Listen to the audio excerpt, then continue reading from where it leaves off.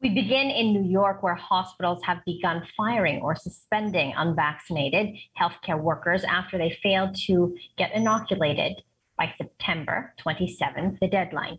Last month, the state's health department issued an order mandating all healthcare workers to receive at least one shot by September 27th or to risk losing their jobs. The sweeping vaccine mandate has triggered staff shortages at dozens of hospitals, prompting them to postpone elective surgeries or to limit their services. Now, last Saturday, New York's Governor Kathy Hochul said that she is considering employing the National Guard and out of state medical workers to fill the staffing shortages. This after she revealed that 16% of the state's 450,000 hospital workers remain unvaccinated.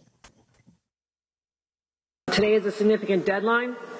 It reflects my priority to just stop this virus dead in its tracks. We are over it. We are done. We want to move on. And the only way we can do that is to ensure that everyone is vaccinated, but particularly individuals who are taking care of the people who are sick. Those of you who've been vaccinated, I thank you from the bottom of my heart for doing what was right and helping lead the way so we do have the confidence we need.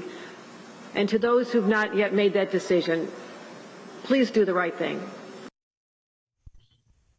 Governor of New York also fired, also says those fired for refusing to get vaccinated will not be eligible for unemployment insurance.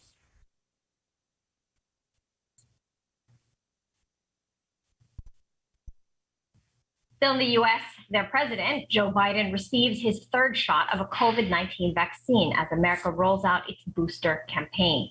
Biden pushed for that campaign last August in a bid to curb a surge of the Delta variant.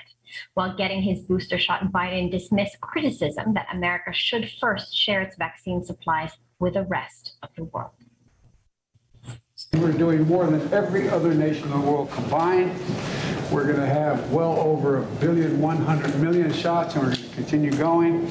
We're going to do our part. We've also given a great deal of funding to COVAX, which is the vehicle that does this. So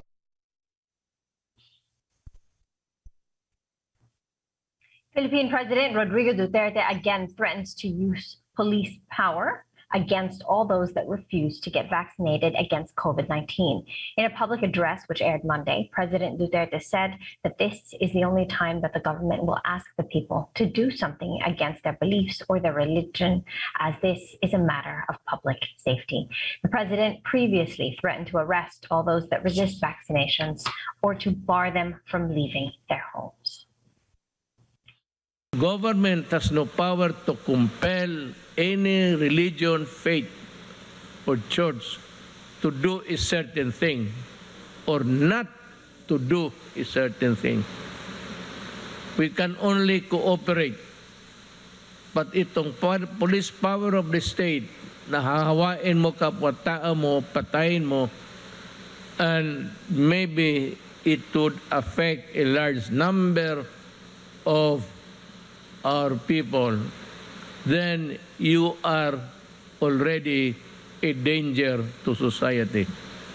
And therefore, I said, contrary to the belief or opinion of others, I, opinion ko lang yan, can compel you under the police power of the state.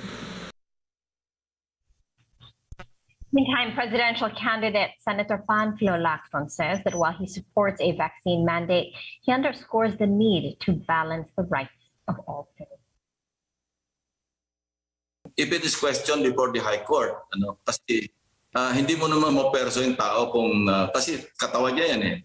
Uh, but again, there's a, there's an issue na katawan mo nga yan, pero may mahahawahan ka naman. If you're not vaccinated, you're vulnerable to getting infected. And at this um, and consequently, sige, makaka, makakahawa ka.